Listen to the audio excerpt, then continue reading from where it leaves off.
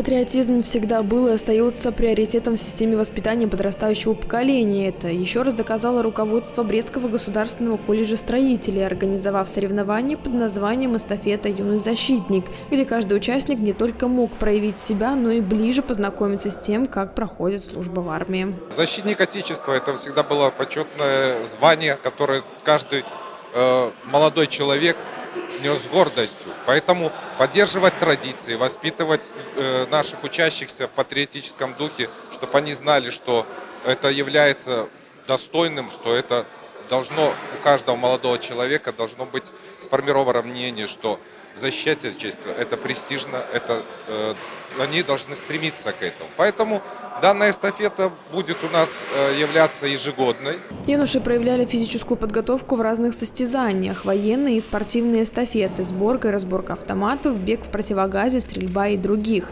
Подрастающие защитники Отечества говорят, что такие состязания нужны прежде всего для патриотического воспитания молодежи и привлечения их внимания к службе в армии, силовых структурах или в органах внутренних дел. Только в комплексе возможно сформировать какие-то э, какое-то патриотическое восприятие. Я вам даже больше скажу, не одно вот это мероприятие.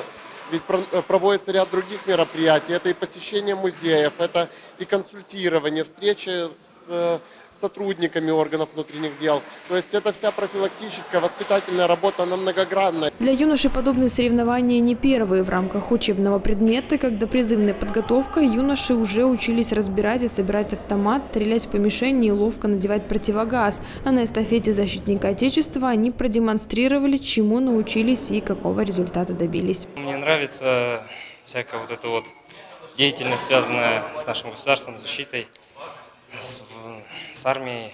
В принципе, результатом доволен, как ощущение. Ну, ощущения такие смешанные на самом деле. Такие мероприятия развивают моторику рук, ну, вообще развивает как личность, в плане того, что ты учишься защищать свою родину. А принял участие, потому что интересно, сама тематика оружия, и разборка, и сборка.